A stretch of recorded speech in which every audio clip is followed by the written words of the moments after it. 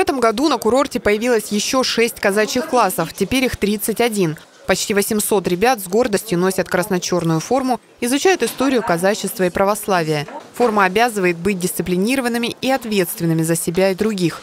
Э, недавно ездили на турслет, э, практически заняли все первые места по стрельбе, по бегу третье. Ездили на 11 слет православной молодежи Кубани, это он проходил в горячем ключе. Я горжусь своим классом, каждого люблю, можно так сказать. Каждый друг за друга переживает. К семинару учащиеся подготовили небольшую выставку декоративно-прикладного искусства в лучших традициях Кубани.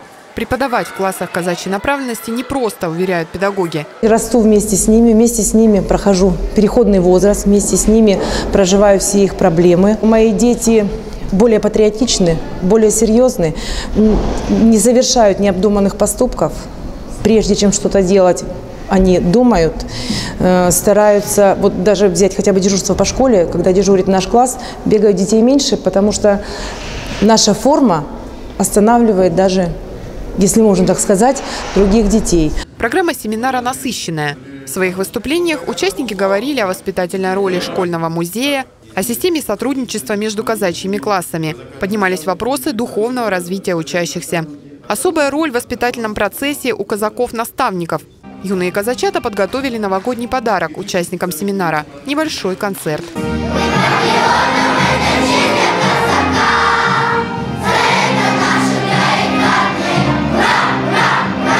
Главная цель, намеченная на будущий год – появление на курорте казачьей школы.